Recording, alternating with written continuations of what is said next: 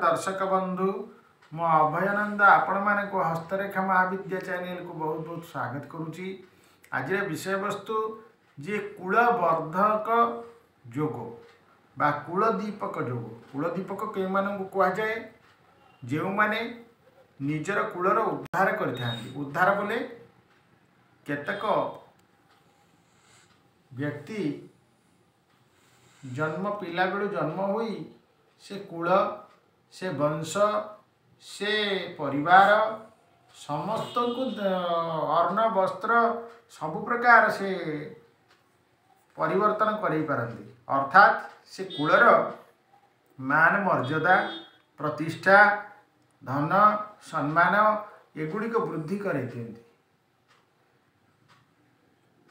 ସେମାନଙ୍କୁ କୁହାଯାଏ କୂଳ ଦୀପକ କୂଳ ଦୀପକ ଅର୍ଥାତ୍ କୂଳର ଦୀପ ସଦୃଶ ସେ ବ୍ୟକ୍ତି ସମସ୍ତଙ୍କୁ ସାହାଯ୍ୟ କୂଳର ଉନ୍ନତି କରିପକାଏ। ତାହାକୁ କୂଳ ଦୀପକ ଯୋଗ ବା କୂଳ ବର୍ଦ୍ଧନ ଯୋଗ ହସ୍ତରେଖାରେ କି ପ୍ରକାର ଲକ୍ଷଣ ଥିଲେ ସେ ବ୍ୟକ୍ତି କୂଳ ଦୀପକ ବା କୂଳବର୍ଦ୍ଧକ ହୋଇପାରେ।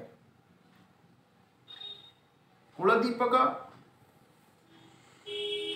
ଯୋଗ ଯେପରି ସଗର ବଂଶରେ ଭଗୀରଥ କୂଳଦୀପକ ତାଙ୍କୁ କୁହାଯାଇପାରେ ଯେହେତୁ କୂଳର ଉଦ୍ଧାର କରିଥିଲେ ସଗର ବଂଶର କୂଳଦୀପକ ଭଗୀରଥ ସେ କୂଳର ଉଦ୍ଧାର କରିଥିଲେ। ତେଣୁକରି ତାଙ୍କୁ କୂଳଦୀପକ କୁହାଯାଏ। ତେଣୁକରି କୂଳରେ କିଏ ଜଣେ ମାନଗଣୀୟ ବ୍ୟକ୍ତି ତାର ହାତରେ କି ପ୍ରକାର ଚିହ୍ନ ଥାଏ? ହାତରେ ଦେଖନ୍ତୁ ହାତ ଆଗରୁ ହସ୍ତରେଖାରେ ସାମାନ୍ୟ ଏକ ଚିହ୍ନ ବ୍ୟକ୍ତିକି ରାଜଯୋଗ ସୃଷ୍ଟି କରାଏ। ଯଦି ହାତରେ ଏକ ସାମାନ୍ୟ ଚିହ୍ନ ପଦ୍ମ ଚିହ୍ନ କଳସ ଚିହ୍ନ ଚକ୍ର ଚିହ୍ନ ଶଙ୍ଖ ଚିହ୍ନ ଅନେକ ପ୍ରକାର ଚିହ୍ନ ପରିଲକ୍ଷିତ ହୁଏ। ବଜ୍ର ଚିହ୍ନ ତେଣୁକରି କି ପ୍ରକାର ଚିହ୍ନ ସାମାନ୍ୟ ଏକ ଚିହ୍ନ ଯଦି ହାତରେ ବି ରହୁଛି ତାହେଲେ ନିଶ୍ଚିତ ଭାବରେ ସିଏ ବ୍ୟକ୍ତି କୂଳଦୀପକ କୂଳବର୍ଦ୍ଧକ ରାଜଯୋଗ ସୃଷ୍ଟି କରିପାରେ।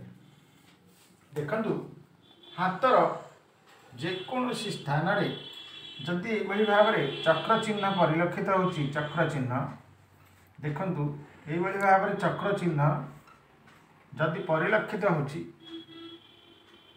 ହାତ ପାପୁଲିରେ ଯେକୌଣସି ସ୍ଥାନରେ ଯଦି ଏଇଭଳି ଭାବରେ ଚକ୍ର ଚିହ୍ନ ହାତରେ ପରିଲକ୍ଷିତ ହେଉଛି ତାହେଲେ ନିଶ୍ଚିତ ଭାବରେ ଦେଖନ୍ତୁ। ଚକ୍ର ଚିହ୍ନ ଦେଖାଯାଉଛି। ତାହେଲେ ନିଶ୍ଚିତ ସେ ବ୍ୟକ୍ତି ଜଣେ କୂଳଦୀପକ କୂଳବର୍ଦ୍ଧକ ହେଇପାରେ। ସେ ମହାନ ଭାଗ୍ୟଶାଳୀ ହେଇପାରେ। ତା ଯୋଗୁଁ ସେ ବଂଶ ସେ କୂଳର ମାନ ମର୍ଯ୍ୟାଦା ପ୍ରତିଷ୍ଠା ସମ୍ମାନ ଏଗୁଡ଼ିକ ବୃଦ୍ଧି ହେଇପାରେ। ସମ୍ପୂର୍ଣ୍ଣ କୂଳକୁ ସେ ଉଦ୍ଧାର କରିପାରେ। ଆଗରୁ ମୁଁ କହିଛି ଯେ କୂଳାଙ୍ଗାର ଯୋଗ ଏତେ କୂଳଦୀପକ ଯୋଗ କୂଳବର୍ଦ୍ଧନ ଯୋଗ କେତେକ ବ୍ୟକ୍ତି ଅଛନ୍ତି କୂଳାଙ୍ଗାର ଯୋଗ। କୂଳାଙ୍ଗାର କୂଳାଙ୍ଗାର କହିଲେ କୂଳର ଯିଏ କଳଙ୍କ ସେମାନଙ୍କୁ କୂଳାଙ୍ଗାର କୁହାଯାଏ। କୂଳର କଳଙ୍କ କେତେକ ବ୍ୟକ୍ତି ଅଛନ୍ତି ସେ କୂଳରେ ସେ କଳଙ୍କ ହୁଅନ୍ତି। କଳଙ୍କ ଅର୍ଥାତ୍ ତାଙ୍କ ଯୋଗୁଁ ସେ କୂଳରେ ଅନେକ ପ୍ରକାର ନିନ୍ଦା ଅପମାନ ଅପଯଶ ସୃଷ୍ଟି ହୁଏ। ସେମାନଙ୍କୁ କୁହାଯାଏ କୂଳାଙ୍ଗାର ବା କୂଳର କଳଙ୍କ। କିନ୍ତୁ ଆଜିର ଏଇ ଯଦି ହସ୍ତରେଖାରେ ଏଇଭଳି ଭାବରେ ଚକ୍ର ଚିହ୍ନ ଦେଖାଯାଉଛି ଚକ୍ର ଚିହ୍ନ ବୃହସ୍ପତିଙ୍କ କ୍ଷେତ୍ରରେ ଦେଖାଯାଉ ଶନିଙ୍କ କ୍ଷେତ୍ରରେ ଦେଖାଯାଉ ରବିଙ୍କ କ୍ଷେତ୍ରରେ ଶୁକ୍ରଙ୍କ କ୍ଷେତ୍ରରେ କୌଣସି ବି କ୍ଷେତ୍ରରେ ଦେଖାଯାଉ ତାହେଲେ ସେ ବ୍ୟକ୍ତି ନିଶ୍ଚିତ କୂଳବର୍ଦ୍ଧକ କୂଳଦୀପକ ହୋଇପାରେ ଏବଂ କୂଳର ସମସ୍ତ ବ୍ୟକ୍ତି କୂଳର ସମସ୍ତ ତାର ବନ୍ଧୁ ବର୍ଗ ସ୍ୱଜନ ସମସ୍ତଙ୍କ ପାଇଁ ସେ ଉନ୍ନତି କରିପାରେ ସମସ୍ତଙ୍କ ପାଇଁ ସେ ନାମ ଯଶ ଖ୍ୟାତି ଅର୍ଜନ କରାଇପାରେ। ଯଦି ଏଇଭଳି ଭାବରେ ଚକ୍ର ଚିହ୍ନ ହାତରେ ପରିଲକ୍ଷିତ ହେଉଛି ଏହା ଏକ ମହାନ ଯୋଗ ଆଉ ସାମାନ୍ୟ ଚିହ୍ନ ଯୋଗୁଁ ସେ ବ୍ୟକ୍ତି ମହାଭାଗ୍ୟଶାଳୀ ହୋଇପାରେ। ଏହା ଏକ ମହାଭାଗ୍ୟଶାଳୀ ଚିହ୍ନ ହାତରେ ଚକ୍ର ଚିହ୍ନ। ସେ ଯେକୌଣସି ପର୍ବତରେ ହାତରେ ପରିଲକ୍ଷିତ ହେଇଥାଉ ତେଣୁକରି ଏଇ ଏଇଭଳି ଭାବରେ ଅନେକ ପ୍ରକାର ଚିହ୍ନ ହାତରେ ପରିଲକ୍ଷିତ ବଜ୍ର ଶଙ୍ଖ ଗଦା ପଦ୍ମ ହାତୀ କଳସ ଅନେକ ପ୍ରକାର।